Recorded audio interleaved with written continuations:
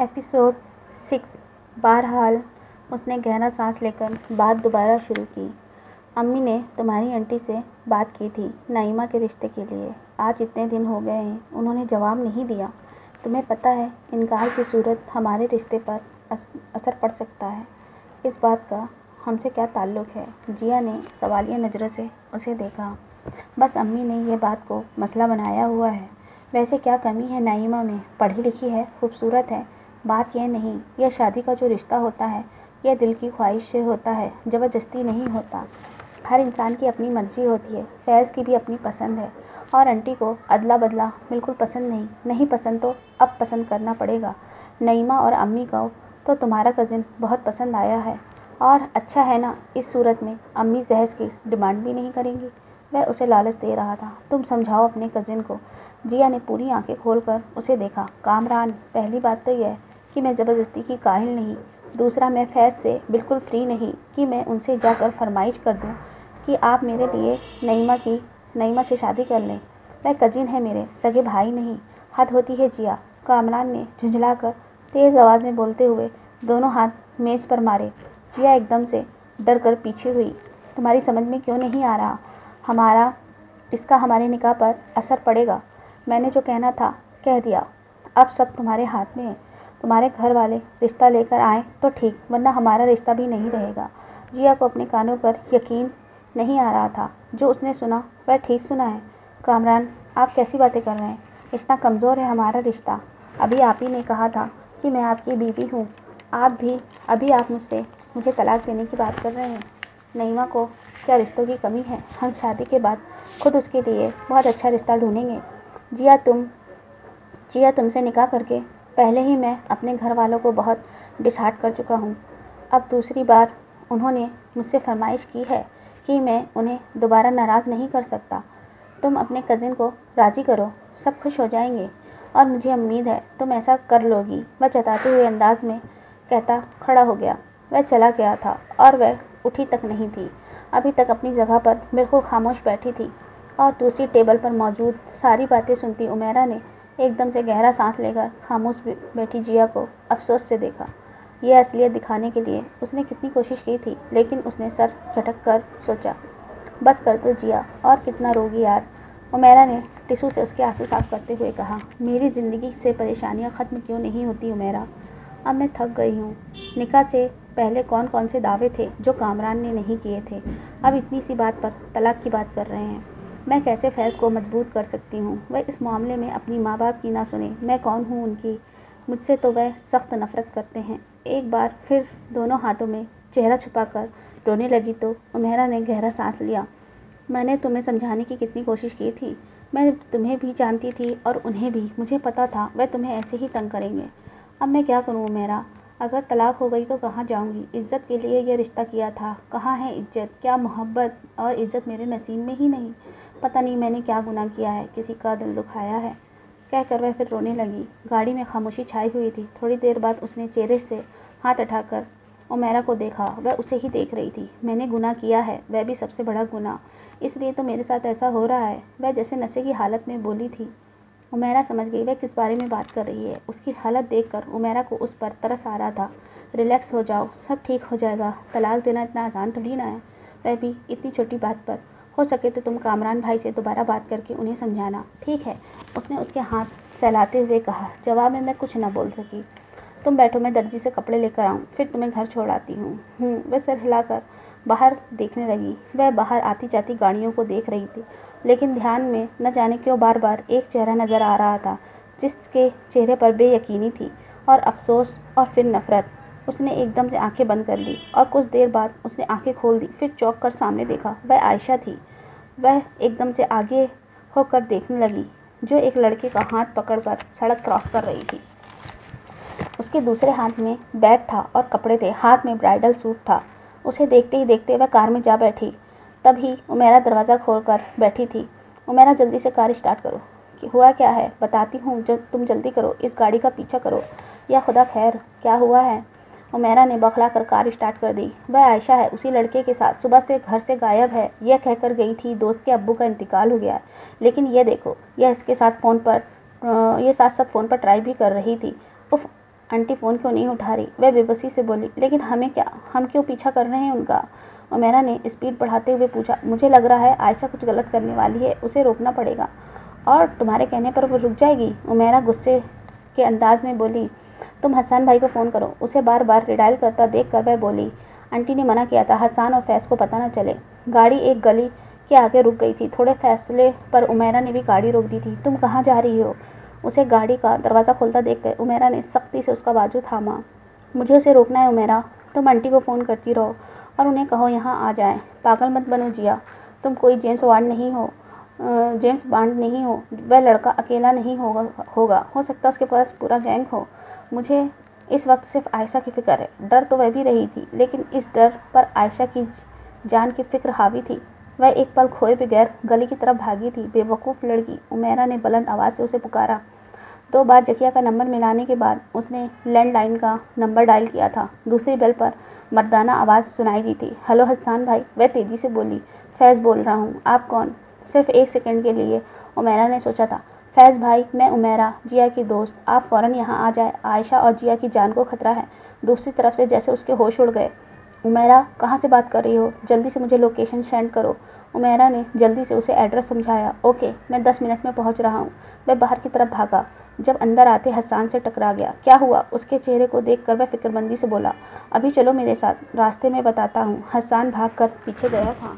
वह जिस घर में दाखिल हुए थे, वहाँ दो घन वह जिस घर में दाखिल हुए थे, वह दो मंजिला घर पुराना लगता था। जगह जगह से पलास्तर उखड़ा था। अब वह दबे पाव आगे बढ़ने लगी। दरवाज़ा भिड़ा हुआ था। वह धीरे से धकेल कर अंदर दाखिल हुई थी। बड़ा सा सहन था। उसके चारों तरफ़ कमरे थे। वह दरवाजे की ओट में खड़ी होकर चौकन्नी नज़रों से आसपास का जायज़ा लेने लगी। तभी उसे आयशा की ऊँची आवाज़ सुनाई दी। वह तेज़ी से आवाज़ की तरफ़ बढ़ गई थी। तुम मुझे धोखे से यहाँ लाए हो। यह जगह निकाह करने वाली तो नहीं लगती। यह तो कोई कैद खाना लगता है। आयशा की तेज़ आवाज़ में बेयकीनी थी। उसे पता नहीं आगे से क्या कह रहा था। आयशा की रोने की आवाज़ आई। तुम तो मुझे, मुझसे मोहब्बत करते हो ना? मोहब्बत, वह कह कहा लगाकर हंसा। ऐसी मोहब्बत मैं दसियों बार कर चुका हूँ। और तुम जैसी कमज़ोर लड़कियाँ मेरे लिए इजी टारगेट होती हो। दो मोहब्बत भरी बातें क्या कहीं? दो तोहफे क्या दिए? तुम सब कुछ करने के लिए तैयार हो गई। घर छोड़ दिया मेरे लिए। नोमी, तुम कैसी बातें कर रहे हो? मैं वाकई तुमसे मोहब्बत करती हूँ। तुम मुझसे शादी करना चाहते थे। तुम्हारे लिए मैं घर छोड़ कर आई हूँ। अब आयशा की रोती हुई आवाज़ सुनाई दी। शादी तो मैं तुम्हें यहाँ लाने के लिए एक बहाना बनाया था। शादी तो तुम्हें यहाँ लाने का एक बहाना था। हमारा काम ही यही है। लड़कियों को बहकाना। और मतलब पूरा करके उन्हें आगे सप्लाई कर देते हैं। उसका लहजा कितना घिनावना था। बाहर खड़ी जिया को घिन महसूस हुई। मुझे माल चाहिए था वह तुम ले आई। और जहाँ तक शादी की बात है तो डियर, इसमें क्या है? प्यार तो तुम मुझसे करती हो और उसके लिए शादी की क्या ज़रूरत है? बकवास बंद करो। दूर और अपनी औकात से दूर रहो। वह चिल्लाई थी। और जब आयशा की चीखें और ज़्यादा बुलंद हुई तो उसने एकदम से आसपास नज़रें घुमाकर कोई ऐसी चीज़ तलाश की थी सहन के आखिरी कोने पर तंदूर के जैसा कुछ बना हुआ था, जिस पर लकड़ियों का ढेर था, वह उसी तरफ़ लपकी थी और तेज़ी से हाथ मारने पर उसने एक मोटा सा डंडा मिल गया था। वह डंडा लेकर तेज़ी से कमरे की तरफ़ भागी। उसने हल्का सा दरवाजे के अंदर झाँका। वह एक लंबा चौड़ा आदमी था, जिसने आयशा को दोनों बाजुओं में जकड़ रखा था। उसने आव देखा ना था और तेज़ी से अंदर बढ़ी। पहले, इससे पहले कि वह पीछे मुड़कर देखता, उसने खींच का डंडा उसके सर पर मारा। उसने तड़पते हुए सर थाम लिया। डर से फटी आँखों के साथ आयशा ने सामने गुस्से से कांपती जिया को देखा और एकदम से रोते हुए उसके गले लग गई। जिया ने उसे बाजू के घेरे में लेकर तसल्ली दी। नीचे गिरा आदमी दर्द के मारे तड़प रहा था, लेकिन वह बेहोश नहीं हुआ था। चलो यहाँ से, जिया ने डंडा फेंक कर तेज़ी से बैग उठाया। इसी, इसीलिए मैं तुम्हें मना करती थी। इसको साथ, उसको साथ ले जाते हुए जिया ने उसे मलामत की। वह दरवाजे के करीब पहुँची थी। जब दरवाजे में आने वाले आदमी को देखकर दोनों की रूह फना हो गई थी। उसने हैरत से दोनों लड़कियों को देखकर उस तड़पते आदमी को देखा। फजल, पकड़ो इन दोनों को। नोमी के चीखने पर वह जैसे दोनों होश में आई थी। जिया तेज़ी से मुड़कर डंडा उठाने लगी थी, लेकिन जब तक नोमी उठ चुका था, फजल आयशा को छोड़कर उसकी तरफ़ बढ़ा तो वह भागकर दूसरे कमरे की तरफ़ बढ़ गई थी। तुम भाग जाओ, आयशा, उसने बैग की तरफ़ इशारा करके कहा। लेकिन तुम, आयशा, रोते हुए बोली, तुम जाओ। कमरे का दरवाज़ा बंद करते हुए चीखी थी और आयशा एक पल बर्बाद किए बगैर बैग पकड़कर बाहर की तरफ़ भागी थी। नोमी, पर आयशा, इसको दूर करो। मुझे उस लड़की का आज वही हाल करना है कि दुनिया देखे। वह जैसे गुस्से में पागल हो गया था। आंसुओं ने आगे का मंजर धुंधला कर दिया था, लेकिन वह अधाधुंध भाग रही थी। और बड़े ज़ोर से किसी से टकराई थी। उसने सर उठाकर उस शख्स को देखा और ज़मीन और आसमान उसकी आँखों के सामने घूम गए थे। वह कमरे, वह कमज़ोर दरवाजे की ठोकर की चपेट में था। वह दोनों बाहर भूखे भेड़ियों की तरह चीख रहे थे। वह अंदर बुरी तरह काँप रही थी। इधर दरवाज़ा खुलता, उधर वह उसे नोच खाते। वह रोते हुए इस धूल भरे कमरे को देखकर कोई सुराख जिस पर कोई सुराख नहीं था। वह पुराना फर्नीचर था, वहीं पुराना फर्नीचर। उसने लड़की की, लकड़ी की कुर्सी को मजबूती से थाम लिया। मेरे खुदा, मेरी मदद कर। उसने सर उठाकर रोते हुए फरियाद की। तभी एक मज़बूत ठोकर लगी। दरवाजे का एक टुकड़ा उसके करीब आकर गिरा था। दूसरी चोट उससे ज़्यादा मज़बूत थी। दरवाजे, दरवाज़ा झटके से खुला। वह दोनों खुखार अंदाज में अंदर दाखिल हुए थे। वह नोमी, जिसके सर से खून निकल रहा था, उसकी तरफ़ बढ़ा और पास आते ही हुए एक के बाद दूसरा थप्पड़ उसके मुँह पर मारा था। थप्पड़ इतना अचानक और ज़ोरदार था कि वह मुँह के बल ज़मीन पर गिरी थी। उसकी नाक और माथे पर बड़ी ज़ोर से चोट लगी लगी थी। दूसरे ने आगे बढ़कर उसे बालों, उसके बालों को मुट्ठी में थाम कर उसे इतनी बुरी तरह झटका देकर खड़ा किया था कि मुँह से चीख निकल गई थी। इसी वजह से आयशा हमारे हाथ, इसकी वजह से आयशा हमारे हाथ से निकल गई है। अब जो उसके साथ करना था, अब वह इससे वसूल करेंगे। नोमी अपने साथी से कह रहा था। उसने अपने बालों को उसके हाथों से छुड़ाने की कोशिश की थी, लेकिन वह छुड़वा नहीं पा रही थी।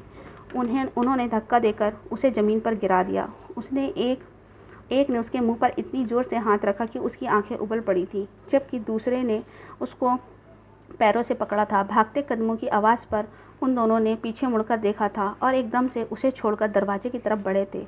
उसका सांस बुरी तरह उखड़ रहा था। बाहर से बाहर से बहुत से लोग को के बोलने की आवाज़ें आ रही थी, लेकिन उसका जहन अंधेरे में डूब रहा था। जिया, उसने बंद होती आँखों के साथ आवाज़ सुनी थी, वह फैज़ की थी। जिया, आप कैसी है? फैज़ को बाहर आता देख कर बेचैनी से टहलती। उमेरा ने उससे पूछा, अभी तक होश नहीं आया उसे? वह माथे को मसलते हुए परेशानी से बोला, कोई परेशानी वाली बात है? उमेरा ने पूछा नहीं, मुझे लगता है डर की वजह से बेहोश हुई है। इंजन, इंजेक्शन लगाया है डॉक्टर ने। आधे घंटे तक उम्मीद है, होश आ जाएगा। मेरी अभी तक समझ में नहीं आया, आयशा और जिया वहाँ क्या करने गई थी। उमेरा ने कोई जवाब नहीं दिया। बस नज़रें चुराकर दूसरी तरफ़ देखने लगी थी और फैज़ ने उसका अंदाज गौर से देखा था। फैज़, बेहतर होगा आप जिया से पूछे। उससे तो मैं पूछ लूँगा, लेकिन अच्छा होगा कि तुम जो जानती हो वो बता दो। जिया ने मुझे मना किया था। जिया और जिया की हरकत। अंजाम देख लिया तुमने। बेहतर होगा, मुझे सच बता दो कि मैं आगे के लिए कुछ कर सकूँ। उसके गुस्से से बोलने पर उमेरा ने एक नज़र उसे देखा, जो आयशा के बारे में वह जानती थी, उसे बता दिया। सुनते ही फैज़ का चेहरा लाल हो गया। वह शर्मिंदगी के मारे आगे कुछ पूछ ही नहीं सका। उमेरा ने एक झिझकती हुई नज़र उस पर डाली और खड़ी हो गई। अच्छा फैज़ भाई, मैं चलती हूँ, देर हो गई है। मैं छोड़ आता हूँ, वह भी खड़ा हो गया। नहीं, मेरे पास गाड़ी है। आग का दूसरी हथेली पर मारा। तुम्हें पता है, जिया, जो हरकत आयशा ने की और उस पर जो जो बेवकूफ़ाना हरकत तुमने की है, उसका अंजाम क्या हो सकता था? जान के साथ इज़्ज़त भी जा सकती थी तुम दोनों की। उसने बड़ी हमदर्दी से सच बोला था। अब की बार वह दोनों हाथों में चेहरा छुपा कर रोने लगी थी। उसके यूँ रोने पर फैज़ को अपने सख्त रवैये का एहसास हुआ था। तो वह घबरा कर सांस लेकर रह गया। वह जानता था, उसकी गलती नहीं है। उसने तो उसकी नस्लों पर एहसान किया है। चलो घर चले। उसके कहने पर उसने बेड का सहारा लेकर उठने की कोशिश की थी, लेकिन चकरा कर रह गई थी। उसने एकदम से उसे कंधों से थामा था। जिया ने घूमते सर के साथ उन हाथों की पकड़ महसूस की थी। कसमसा कर खुद को चुराना चाहा था, लेकिन वह उसी मजबूती से उसे बाजू के घेरे में लिए चलने लगा। वह गेट के करीब पहुँचे थे, जब उसे कामरान को देखा। वह हैरत और गुस्से से उन्हें देख रहा था। फैज़ भी उसे देखकर रुक गया। वह चलता हुआ उसके बिल्कुल सामने आकर रुक गया था। उसने एक चुपती नज़र फैज़ पर डालकर उसे देखा। तो मुझसे बे बेरुखी की वजह यह सख्त है। उसके अल्फाज पर दोनों हैरत से उसे देखने लगे। निका में तुम मेरे हो, मुझसे मिलना, मुझसे बात करना तुम्हारे ख़ानदान को अच्छा नहीं लगता। वहाँ लिमिट्स आ जाती हैं। यह क्या है? उसने फैज़ के बाजू की तरफ़ इशारा किया। अभी थोड़ी देर पहले तुम कह रही थी, वह मेरा भाई नहीं, कज़िन है। और अब यूँ उसकी बाहों में बाहें डालकर घूम रही हो। यहाँ तुम्हारी ख़ानदानी गैरत कहाँ गई? फैज़ को अब उसकी सारी बातें, सारी बकवास समझ में आ गई थी। दिमाग ख़राब है आपका? किस अंदाज में बात कर रहे हैं जिया से? नज़र नहीं आ रहा? इसको चोट लगी है? उसने उसके माथे पर लगी बैंडेज की तरफ़ इशारा किया। सब ड्रामे हैं। इतनी चोट लगी थी तो मुझे इन्फॉर्म कर दी। और जो इतनी नज़दीकी है, इसे क्या कहूँ? उसका अंदाज़ इतना बुरा था कि फैज़ का दिमाग जो पहले आयशा की हरकत की वजह से ख़राब था और ज़्यादा ख़राब हो गया। मैं इतनी देर से इज़्ज़त से बात कर रहा हूँ, लेकिन लगता है तुम्हारी समझ में नहीं आ रहा। तुम्हें जो समझना है समझ लो। फैज़ बदलिहाजी से बोला तो जिया ने घबरा कर उसके बाजू पर हाथ रखा। प्लीज़ फैज़, कामरान, प्लीज़ मेरी बात सुने। मैं बड़ी मुश्किल से उसकी तरफ़ मुड़ी। मुझे तुम्हारी कोई बात नहीं सुननी। अब जब बात होगी तो बड़ों के बीच होगी। वह आगे कोई बात किए बगैर लंबे लंबे डिग भरते चला गया। घटिया आदमी। फैज़ ने गुस्से से उसको देखा, यह है तुम्हारी चॉइस कैसा आदमी है जो अपनी बीवी पर भरोसा नहीं करता, जिसे किसी लड़की से बात करने की तमीज़ नहीं, बर्दाश्त कैसे करती हो इसे? फैज़ गुस्से में बोला जा रहा था, जबकि वह आने वाले वक्त का सोच सोच कर हौल रही थी।